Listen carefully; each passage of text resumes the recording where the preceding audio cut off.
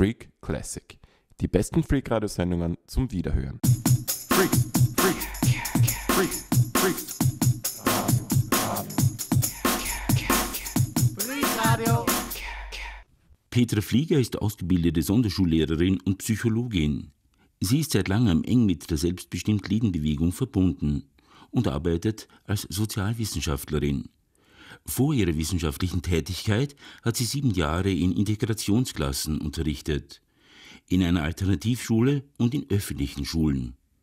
In letzter Zeit setzt sie sich wieder intensiver mit der schulischen Integration in Österreich auseinander. Und sie schlägt Alarm. Denn die Integration behinderter Kinder in Österreichs Schulen geht zurück statt voran. Von Inklusion, dem eigentlichen Ziel, sind wir meilenweit entfernt. Freakradio hat Petra Flieger zu einem Gespräch über das Thema gebeten. Die Fragen stellen Katharina Zabranski und Margarete Endl. Also wir haben uns getroffen, um über die österreichische Schulintegration zu sprechen. Allgemein oder umgangssprachlich spricht man auch von Integration. Was ist der Unterschied zwischen Inklusion und Integration? Da gibt es einen sehr grundlegenden Unterschied. Integration heißt, dass es getrennte Systeme gibt oder getrennte Welten gibt und die werden zusammengeführt, mehr oder weniger. Das ist Integration. Inklusion ist der wesentlich radikalere Ansatz, weil Inklusion heißt, es gibt überhaupt keine Trennung. Inklusion heißt eigentlich ohne Aussonderung. Inklusion ist das Gegenteil von Exklusion. Bei Inklusion geht es um einen fundamentalen und eigentlich radikalen Systemwechsel. Äh, so wie wir jetzt in Österreich die Situation haben, haben wir ein extrem aussonderndes Schulsystem. Wir haben von Anfang an neben der Volksschule die Sonderschule. Es gibt einfach immer noch kleine Kinder, die von vornherein in die Sonderschule kommen. Da findet Aussonderung statt und das hat überhaupt nichts mit Inklusion zu tun. Wenn einzelne Kinder in die Regelschule gehen, dann kann man das Integration nennen. Aber grundsätzlich ist das Bildungssystem ein ganz stark aussonderndes und wir sind sehr, sehr weit von einem inklusiven Schulsystem entfernt. Wenn es um positive Beispiele geht, kennen Sie Länder, wo es eine vernünftige Inklusion, eine positive gibt in der Schule? Ja, es ist lustig. Ich lebe ja jetzt seit zwölf Jahren, bin ursprünglich aus Wien, aber lebe seit zwölf Jahren in Tirol und ich brauche also nur 30 Kilometer in den Süden fahren, nach Südtirol. Da herrschen wirklich inklusive Zustände. Es gibt in Südtirol keine Sonderschule mehr, es gibt keine Exklusion mehr, es gibt keine Sonderklassen mehr. Die haben die gemeinsame Schule der 6- bis 15-Jährigen und da gehen alle Kinder miteinander in der Schule und die haben es auch im Laufe der letzten 20, 25 Jahre gut geschafft, auf die Bedürfnisse von allen Schülern und Schülerinnen gut eingehen zu können und den Bedürfnissen gerecht zu werden. Das betrifft ganz Italien. Südtirol ist halt deshalb für uns interessant, weil nach Südtirol kann man fahren und fein Deutsch reden. Man ist eigentlich im selben Kulturraum, man ist sich sehr nahe und hat ein vollkommen anderes Bildungssystem. Das ist das Spannende. Aber natürlich ist das eine Gesetzgebung, die für ganz Italien gilt. Und ich weiß auch, dass die Südtiroler so auf diesem Autonomieticket wenn ich das salopp ausdrücken darf, versucht haben, sich zu wehren gegen dieses Schulgesetz, das ja Mitte der 70er Jahre schon äh, eingeführt worden ist, also die Abschaffung der Sonderschulen und die Einführung eines inklusiven Schulsystems, eines Schulsystems ohne Aussonderung. Also die Südtiroler haben sich gewehrt, haben auch eine Zeit lang eine Übergangsregelung gehabt und da haben sich dann die Eltern, da hat es also eine sehr starke Integrationsbewegung von betroffenen Eltern, von Kindern mit Behinderung gegeben, die dann gesagt haben, wir wollen das so wie in Italien und, und die dann in Kooperation auch mit engagierten Lehrern und Lehrerinnen doch relativ schnell auch die, die volle Integration respektive Inklusion, wie man da ja sagen kann, auch in Südtirol durchgesetzt haben. Was vielleicht nochmal, weil ich das letztens erstmal nachgefragt habe bei einer Kollegin aus Südtirol, was da schon interessant ist, weil ich sie gefragt habe, wie lange das gedauert hat, bis dann von den aussondernden Bedingungen oder der, der Trennung, äh, bis dann wirklich diese Inklusion hergestellt war. Und sie hat gesagt, circa zehn Jahre, bis es einfach überhaupt keine Aussonderung mehr gegeben hat. Was sie gesagt hat, was wichtig ist, also äh, Südtirol hat nie ein so extrem stark und differenziert aufgebautes Sonderschulwesen gehabt wie Österreich. Also da wäre in Österreich wahrscheinlich noch einmal genauer hinzuschauen, wie man das umsetzen könnte, welche Schritte man da ergreifen muss, um Richtung Inklusion zu kommen und die Sonderschulen abzubauen. Die UN-Behindertenrechtskonvention, die ja auch Österreich unterschrieben hat, will eben die Abschaffung der Sonderschulen und eine inklusive Schule für alle Kinder. Was sind die größten Hürden jetzt in Österreich?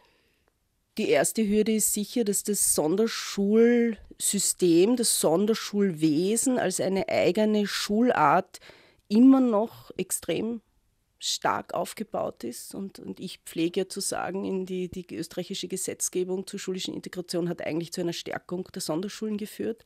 Da wird es dann kompliziert, weil das mit der Schulverwaltung zusammenhängt, weil das damit zusammenhängt, dass sehr viel äh, Länderkompetenzen angesprochen sind und sehr viel in den Bundesländern sehr unterschiedlich gehandhabt wird. Zweitens die Sache mit dem Wahlrecht der Eltern was auf den ersten Blick so gut ausschaut, hat, wenn man sich die Entwicklung der letzten 20 Jahre in Österreich anschaut, nicht dazu geführt, dass die Integration wirklich sich durchgesetzt hat. Weil bei einer Integrationsquote die in den letzten zehn Jahren relativ konstant ist, von 50 Prozent, kann man nicht sagen, dass das ein erfolgreiches Konzept ist, weil 50 Prozent der Kinder mit sonderpädagogischem Förderbedarf werden immer noch ausgesondert. Und da wird es dann auch wieder kompliziert. Die Frage ist, wie erfahren denn die Eltern überhaupt, dass sie ein Recht haben zu wählen? Wer informiert denn die Eltern über die Vor- und Nachteile von einer integrativen Beschulung ihres behinderten Kindes oder von einer Beschulung in der Sonderschule?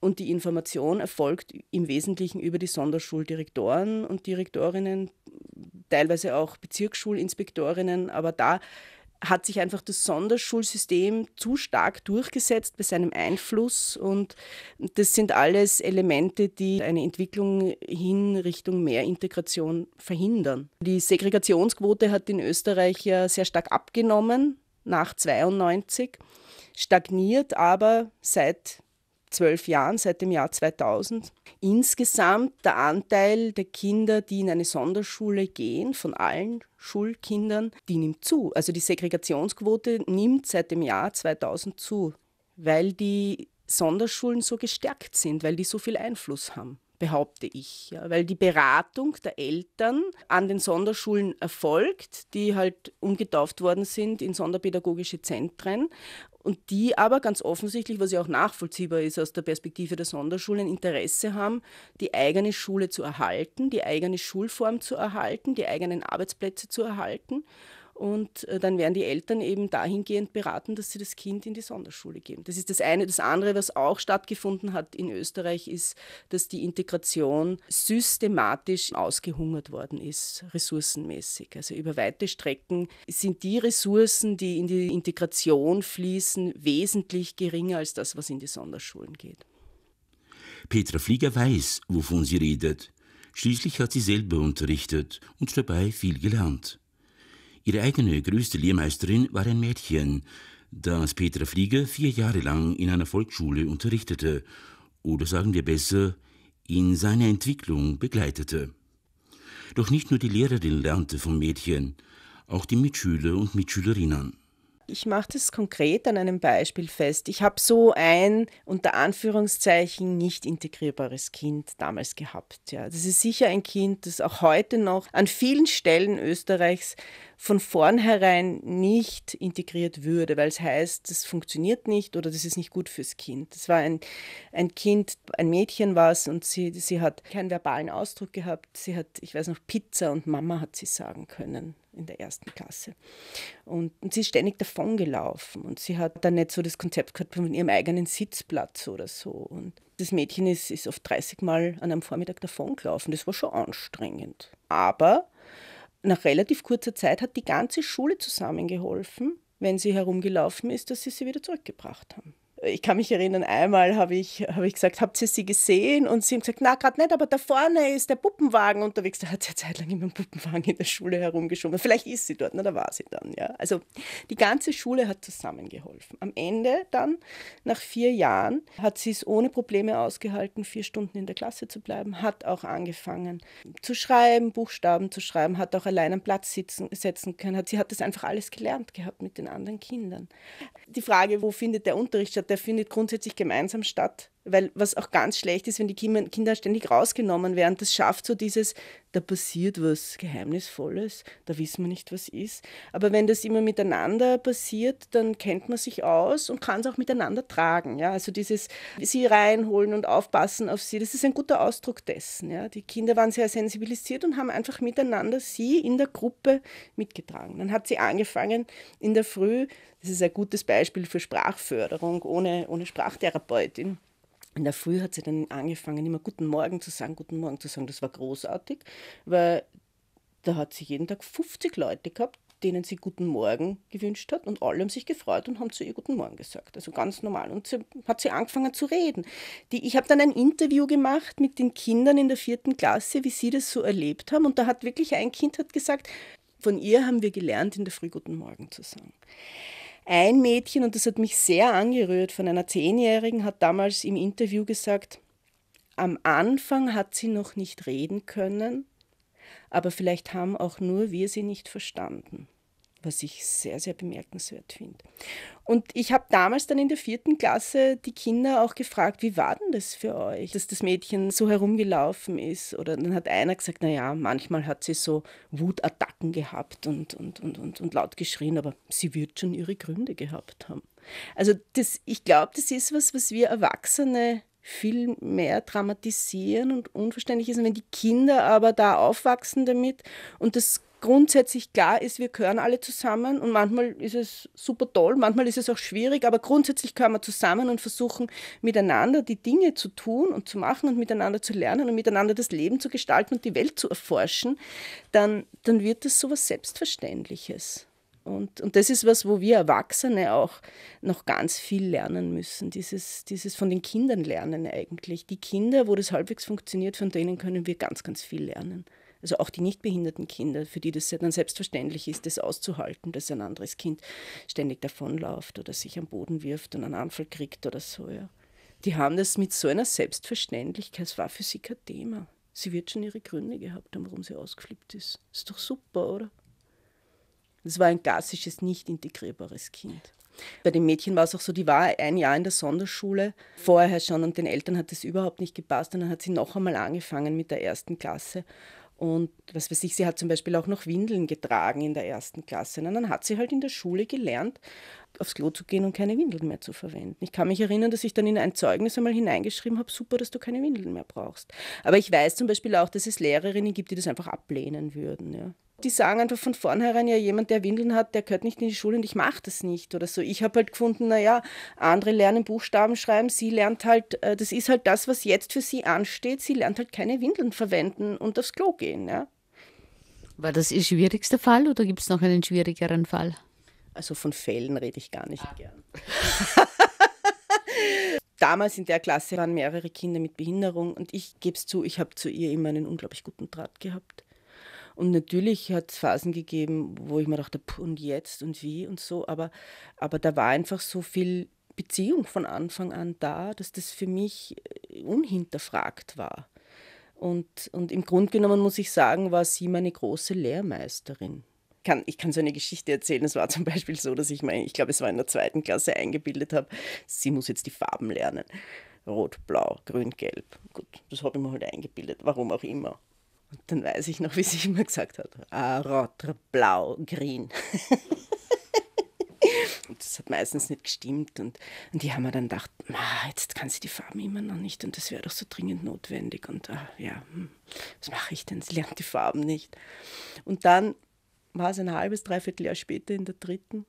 Von einem Tag am anderen ist sie nicht, ich habe das noch so im Kopf, es war so ein schönes Bild, das hätte man filmen müssen, hat sie angefangen, von Kind zu Kind zu gehen, von Federbenal zu Federbenal und hat dann angefangen, die einzelnen Farben zu nennen, aber hellrot, dunkelrot, hellgrün, dunkelgrün, rosa und so. Und, und ich habe mir nur gedacht, Gott, was habe ich für einen unnötigen Stress gemacht? Und das Kind hat eigentlich nur mir zuliebe immer gesagt, ist er rot, ist er grün, ist gelb. ich habe einfach mir eingebildet, sie soll jetzt die Farben lernen. Äh, und für sie war es einfach noch nicht interessant. Ein halbes Jahr später war für sie war der Zeitpunkt der richtige und dann hat sie mit dem größten Selbstverständnis. Das Schöne war eben auch so dieses, dass sie von Federbenal zu Federbenal gegangen ist und die Kinder haben das mit ihr besprochen, was sind denn das für Farben und so. Und sie hat mit der größten Selbstverständlichkeit alle Farben benannt und ich habe ein halbes Jahr vorher gedacht, ach Gott, was, was, was rennt falsch, dass sie die Farben immer noch nicht kann. Und also was sie mir einfach gelernt hat oder was sie mir bei, was, worin sie mich gelehrt hat, ist einfach so dieses ruhig sein, gelassen sein, aufs Kind vertrauen, geduldig sein auch und wirklich genau hinzuschauen, was ist das, was das Kind jetzt braucht und etwas bilde ich mir ein, was es jetzt brauchen muss, ja, was eh oft sehr daneben ist. Und da war sie einfach eine, da war sie sicher nicht mein schwerster Fall, sondern meine beste Lehrmeisterin.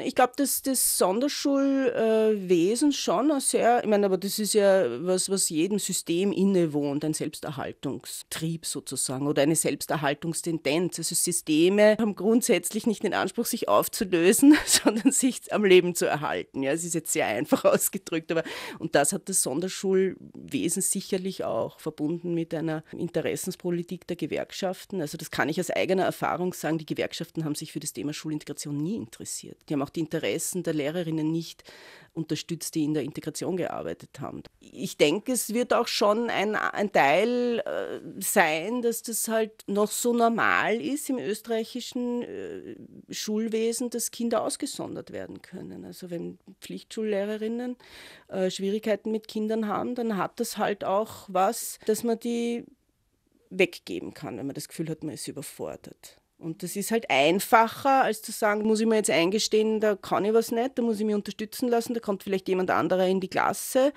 Es ist halt einfacher, jemanden loszuwerden sozusagen. Wobei man natürlich immer ganz vorsichtig sein muss mit so pauschalen äh, Aussagen. Aber die, die Tendenz ist da und die Zahlen zeigen das auch die höchsten Steigerungen an Anteil der Sonderschülerinnen sind in der dritten und vierten Schulstufe. Also da, da, werden ganz viele Kinder etikettiert, Kinder, die vorher nicht etikettiert worden sind, die als unauffällig in die Schule kommen, die erhalten in der dritten oder vierten Klasse einen sogenannten sonderpädagogischen Förderbedarf und sehr, sehr viele, da werden die Sonderschulklassen aufgefüllt. Und dann noch einmal in der neunten Schulstufe, das ist auch interessant.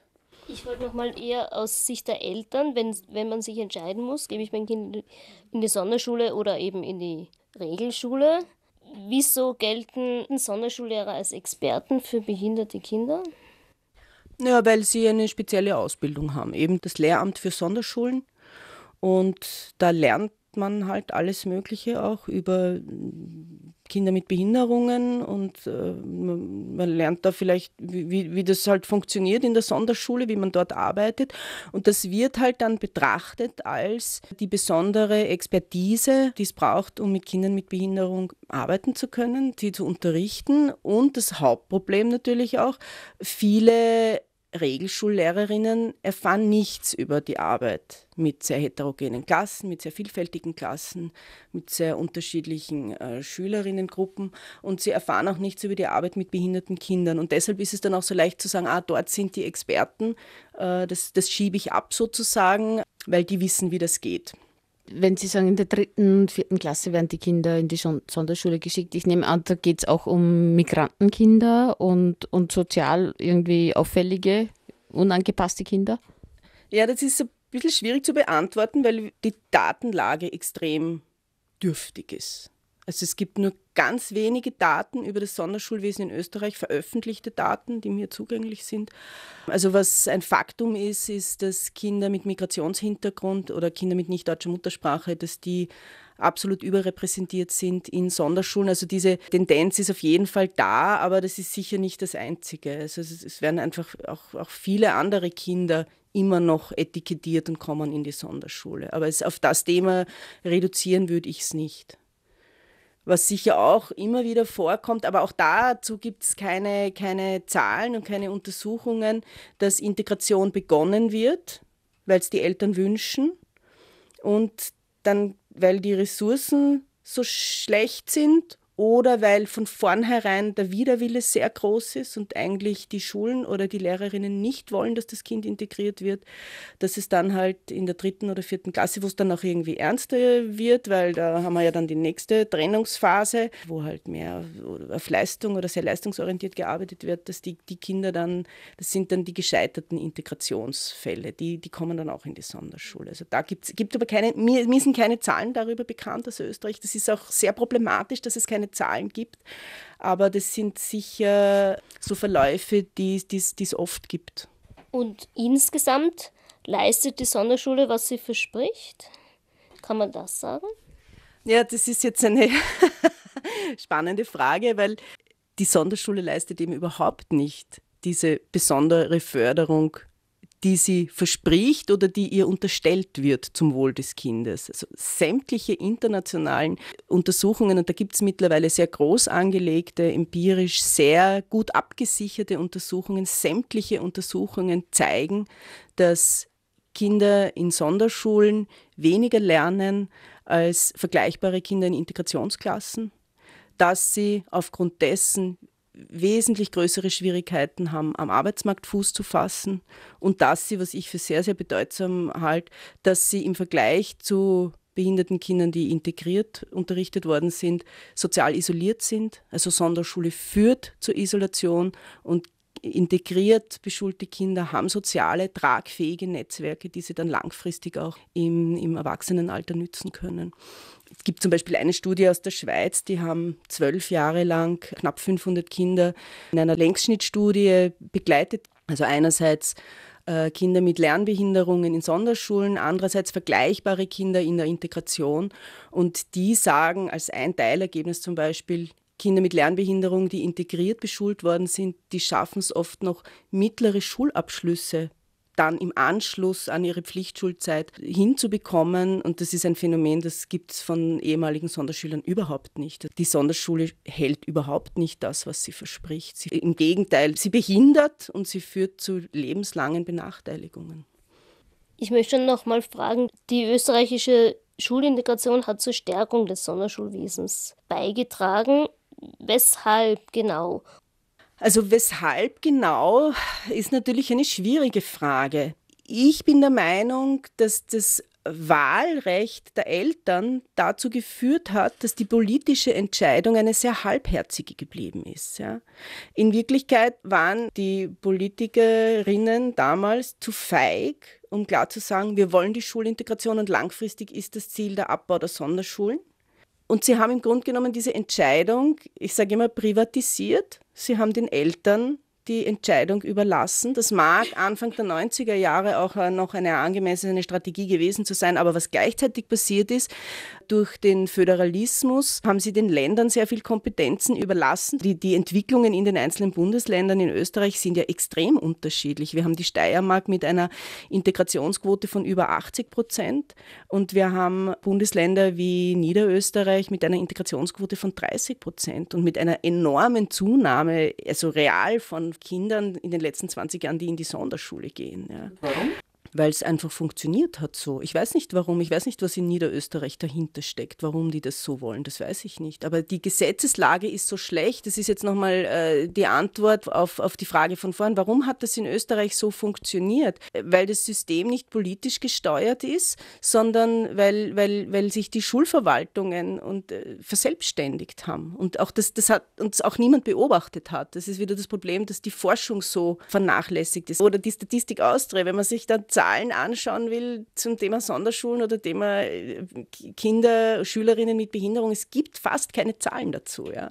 Also es herrscht einfach kein Interesse daran, politisch genauer hinzuschauen und das zu hinterfragen, was passiert denn eigentlich. Man lässt sich es einfach verselbstständigen. Und das ist das, was ich als halbherzig bezeichne. Einerseits zu sagen, wir haben eine super tolle Gesetzgebung und bei uns dürfen die Eltern entscheiden, und dann nicht mehr genau hinzuschauen, was passiert denn da eigentlich, wie entwickelt sich das und auch kein Interesse dran zu haben, das ist halbherzig oder doppelzüngig. Also und, und dann denke ich mir, in Wirklichkeit ist es ihnen eh recht, dass die behinderten Kinder ausgesondert werden. Ja. Warum ist eigentlich die Steiermark da anders als zum Beispiel Niederösterreich? Wissen Sie, welche Kräfte da am Werk sind? Ja, das glaube ich schon, das relativ klar sagen zu können. Die Steiermark war von Anfang an, das war damals der Herr Bernd Schilche, der ja ein relativ bekannter, österreichweit bekannter Bildungspolitiker ist, äh, der war damals Landesschulratspräsident von der Steiermark in der Vorphase zur Gesetzeswerdung 1992. Der hat sich damals schon sehr eingesetzt dafür, dass, dass die Gesetze kommen und dass da auch in der Steiermark was passiert. Und dann hat es eine sehr engagierte, und zwar pro Integration engagierte Landesschulinspektorin gegeben, die sich einfach äh, sehr eingesetzt hat dafür und die konsequent die Integration umgesetzt hat. Das finde ich problematisch bei einem Gesetz, dass das so, so ungleich umgesetzt werden kann. Ja? Dass ein Gesetz für die Schulintegration äh, in einem Bundesland wirklich zu mehr Integration führt und in anderen Bundesländern genau zum Gegenteil. Dann denke ich mir, was, da, da stimmt was nicht, dass das möglich ist mit einem Gesetz. Und, und ja, komme ich wieder zur Halbherzigkeit. Was steckt da für eine Halbherzigkeit dahinter, so ein Gesetz zu machen und dann nicht zu beobachten, wie wird das Gesetz umgesetzt oder zu steuern, wie wird das Gesetz umgesetzt, sondern immer nur zu sagen, ja, das ist halt die Entscheidung der Eltern. Das stimmt nicht. Das ist nicht die Entscheidung der Eltern, weil die sind ja das schwächste Glied gemeinsam mit ihren Kindern. Ja. Und das Beispiel Steiermark ist ein gutes Beispiel, weil da ist es real einfach so gewesen, dass, dass an entscheidenden Stellen Leute gesessen sind, die gesagt haben, ja, wir sind davon überzeugt, dass das die Zukunft ist und wir wollen schulische Integration in unserem Bundesland. Gibt es dann irgendwie schon Ergebnisse, was das jetzt für die, für die Absolventen, Absolventinnen bedeutet? Es hat vor zwei Jahren an der Uni Wien ein großes Forschungsprojekt gegeben unter der Leitung von der Helga Fasching eine umfassende Erhebung österreichweit gemacht, was passiert mit Absolventen von Sonderschulen und was passiert mit, äh, also wie sind die weiteren Wege von Absolventinnen von, von Integrationsklassen. Die haben festgestellt, dass eben ehemalige Sonderschülerinnen tendenziell nicht pro Integration beraten werden, sondern tendenziell in Beschäftigungstherapien und Sonderprojekte geschickt werden, äh, relativ schnell aufgeben, wenn es nicht gleich klappt. Also die versuchen es vielleicht noch irgendwo bei einer integrativen Berufsberatung, geben aber dann schnell auf, im Gegensatz zu ehemaligen Integrationsschülerinnen, die durchaus ausdauernd versuchen, im Integrat also am allgemeinen Arbeitsmarkt, in Integrationsprojekten und unterstützt von Integrationsbegleitungen Fuß zu fassen. Auch wenn sie einmal scheitern, geben sie nicht auf, sondern sie bleiben dran, was ja ein allgemeines Phänomen ist. Man muss halt oft ein bisschen dranbleiben, bis man wo Fuß fasst und das Richtige findet. Und insgesamt sind die Ergebnisse eindeutig so, dass die Sonderschule zur Beschäftigung in einer Beschäftigungstherapie oder in, in, in Sonderprojekten führt und die schulische Integration auch längerfristig zu einer Integration im Arbeitsmarkt. Und das hängt sich auch mit der Beratung zusammen. Und das, also insofern muss man wirklich sagen, Sonderschule behindert. Das trifft sehr gut. Und der Mythos äh, von der besonderen Förderung, der besonders guten und der besonders förderlichen Unterstützung und Begleitung ist ein Märchen sozusagen. Ja. Es gibt ja auch ein therapeutisches System, also Logopäden, Physiotherapeuten natürlich zuerst, fallen mir die ein, und andere Therapeuten die könnten ja auch in eine normale Schule gehen und ein Kind dort versorgen, behandeln. Ist da irgendwie ein Mangel an Zugänglichkeit zu den therapeutischen Angeboten? ich glaube, es geht überhaupt nicht um einen Mangel an, an Angeboten. Es geht um die Frage, mit welchem Modell biete ich diese Angebote an? Muss das Kind zum Angebot kommen in der Spezialeinrichtung, wo alles ist? Oder kommt die Therapeutin halt in die Schule zum Kind und in der Schule dort gibt es einen Raum, wo sie einen Platz hat? Ja? Ein zentrales Thema in Österreich immer noch ist, dass viele Sonderschulen, jetzt gerade so Sonderschulen für Kinder mit Körperbehinderung zum Beispiel, dass das Ganztagsschulen sind, wo alles im Multipack oder im All-Inclusive-Paket angeboten wird, ja, vom Abholen von zu Hause übers Mittagessen bis zur Therapie und sich die Eltern nicht mehr kümmern müssen drum. Ja. Und abgesehen davon, dass es ganz, den ganzen Tag betreut ist, das Kind, also das noch mit dem Querverweis zur Berufstätigkeit der Eltern. Ja.